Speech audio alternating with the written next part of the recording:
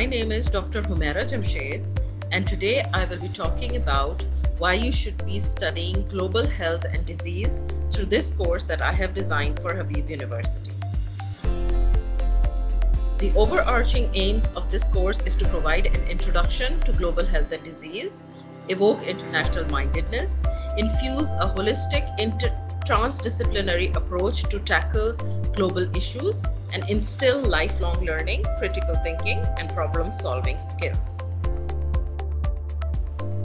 Through this course, you will understand the core concepts of global health and disease, human rights, ethics of human research, social determinants of health, and the impact of culture and environment on global health. Evaluate the role of communicable and non communicable diseases.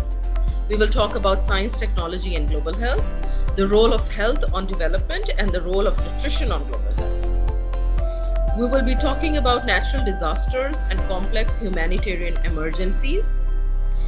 You will also be linking women, children, and adolescents' health to systems thinking and apply some concepts of One Health.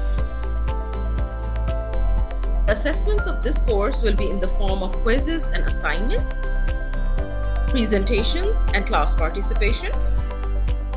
You will be actively involved in learning throughout the course in the form of flip classes, movie based learning, educational videos and games, problem based learning, and discussion competitions.